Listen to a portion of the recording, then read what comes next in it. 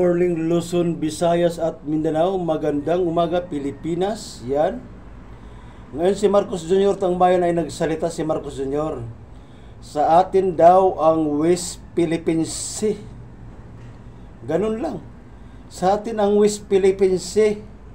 Ganun lang. Abay, gumawa ka ng aksyon, Marcos Jr. Gumawa ka ng aksyon. Ano bang aksyon mo?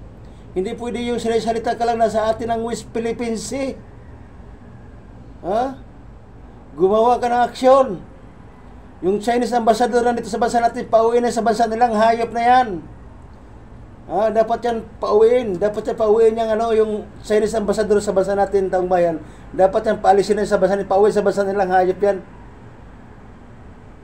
Ha? Dapat lang talaga.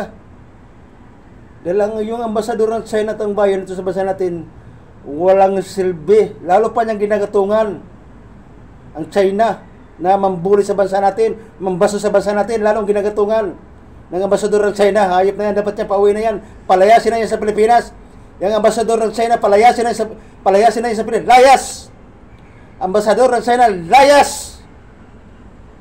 Out of my country! Of the Republic of the Philippines. Out of my country, Republic of the Philippines. Layas! Ambassador of China here in Philippines.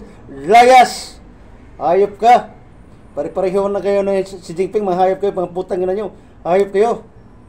Eh dapat yan, ganyan gawin mo Marcos Jr. Hindi pwede yung sa atin ang yung Philippines eh. Hindi yung ganun-ganun lang sa atin, hindi pwede yung ganun. Gumawa ka ng hakbang at aksyon laban sa China. Hayop na yan, wala nang ginagawang matino yung China na yan. Sobra-sobra na pambabasa, sobra-sobra na panggagaw sa bansa natin, hayop na yan. Hayop kayo mga China kayo, hayop kayo. Putang ina nyo, hayop kayo.